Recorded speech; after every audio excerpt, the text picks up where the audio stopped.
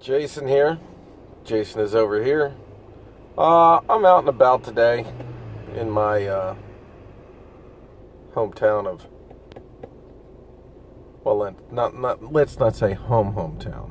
I wasn't born here, and some people are sticklers to that. But I have lived in this area for off and on 20ish years, and uh, just out and about, and and, and there's a been a few things that have irritated me a little bit. And one of them is uh, having to do with the Presbyterian Church in Charles Town. Which is pretty interesting. See, the church has just gone through some uh, renovations. They're bringing the scaffolding down, and uh, that scaffolding can be pretty expensive, just the rental fees itself.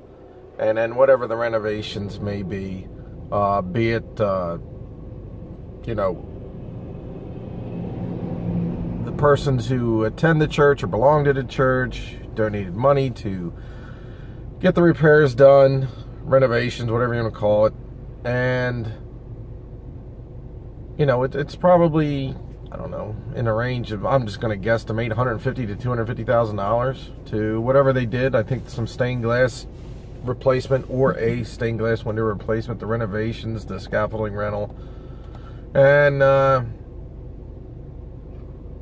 the church has been there a long time, long, long time. It was originally on an, a, a lot on the other end of town, and that's the source of the problem that I have is what's going on with that lot at the other end of town that has become a burden to this church. And this is, I believe, I'm not 100% sure, but I believe this is the lot of concern. It said the southwest corner of Southwest Street and, and West Con Congress Street. The original church, Presbyterian Church, Charles Town, used to sit, I believe, here. And the other issue is there's 60, possibly more graves here. And they want to move them because cutting this lot has become a burden to the church. And I find it a bit disgraceful. It says uh, the the church states that it has no monetary value to them. Well, of course it doesn't. Not right now.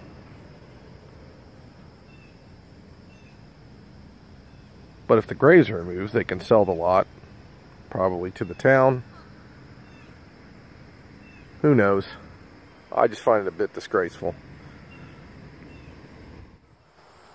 So, somewhere in this lot is the remains of 60 plus people. And I think it's uh, when this road was widened years ago, they all, for some odd reason, they removed all the gravestones and threw them into a hole and just covered them up. So this is where I can't stand the corporation of a church. These are people that helped, if not one of the, some of the original congregation that built that church. And now they wish to just get rid of the burden. This is why nowadays you don't see many churches built with cemeteries around them.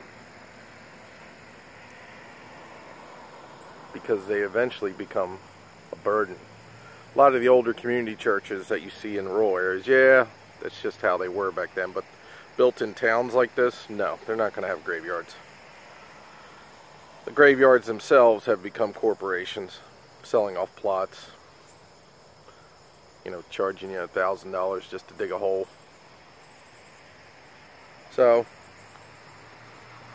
it's one reason why I, I probably prefer to be cremated and have my ashes spread at a later date with no fees. Just my opinion. Jason is over here. Talk at you later. Oh please like and subscribe. Have a good one.